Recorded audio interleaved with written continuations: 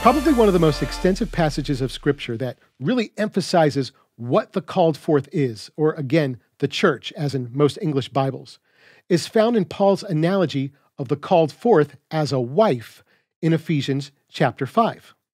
In verses 22 through 33, Paul gives practical advice to married couples using the called forth's relationship to Yeshua as a pattern for marriage, while at the same time using marriage as a picture of the called forth.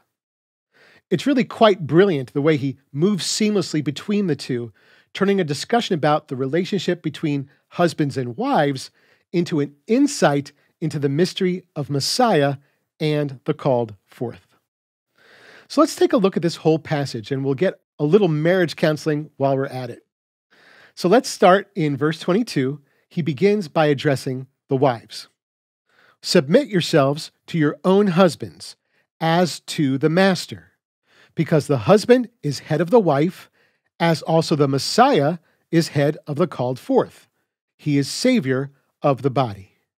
So, right off the bat, Paul compares submission to one's husband to submission to Yeshua. In the first comparison, he says wives should submit to their husbands as they presumably already submit to the master. This standard for submission should negate any objection to it, at least in principle. It establishes that submission, in and of itself, isn't bad or unsafe, as some might think of it today. But on the contrary, it is righteous and good. If you can submit to Messiah, you can submit to your husband. And we'll get to the husband's responsibility in this in a minute. In the second comparison, Paul says that the husband is the head of the wife, and that wives should submit to that headship, as also the Messiah is head of the called forth. Paul also extends this metaphor by saying that the called forth, in relation to the head, is the body of the Messiah, and he is our Savior. So, wife's submission to her husband is like our collective submission to Yeshua as our head, as well as a physical body submission to its head. For the husband, then, being the head of the wife, this means that it's his job to lead. And that's the reason that Paul gives for wives to submit, because the husband is the head and he needs the cooperation of his wife in order to be the effective leader that God's called him to be. And this is the same reason why the called forth also submits to Messiah, because he's our leader, and we can't be resisting and working against his word and leadership and guidance, otherwise, we're just a headless body.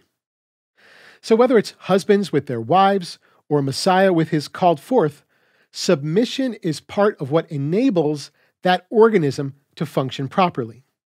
In order to have a marriage that's functional and in order, the wife needs to submit to the husband. And in order for Yeshua's body to be functional and in order, the called forth needs to submit to the Messiah. Paul sums this up very plainly in verse 24 when he says, But as the called forth is submitted to Messiah, so also are the wives submitted to the husbands in everything. But Paul doesn't leave it at that. He then goes on to give both wives and the called forth very good reason to trust their submission to their respective leaders. Continuing in verse 25, he then turns to the husbands and says, Love the wives, as the Messiah also loved the called forth and gave himself for her so that he might set her apart, so that he might present her to himself, the glorious called forth. In this same way, the husbands also ought to love their own wives as their own bodies, as the Messiah also loves the called forth, since we are members of his body. So the requirement that Paul places on husbands, because Yeshua modeled it first, isn't to rule over his wife with a heavy hand while she just obeys him in fear. That's the exact opposite of how husbands are supposed to behave toward their wives, because that's not how God behaves toward those who love him. Instead, husbands are meant to love their wives as the Messiah also loved the called forth and gave himself for her. The kind of love that a husband is supposed to have for his wife is the kind that Yeshua has for the called forth.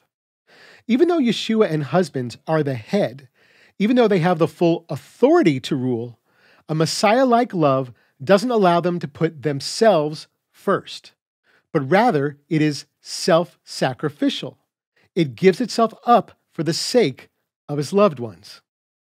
Just as Yeshua so loved the world and willingly went to the execution stake for the called forth, husbands are to lead and love self sacrificially for their wives.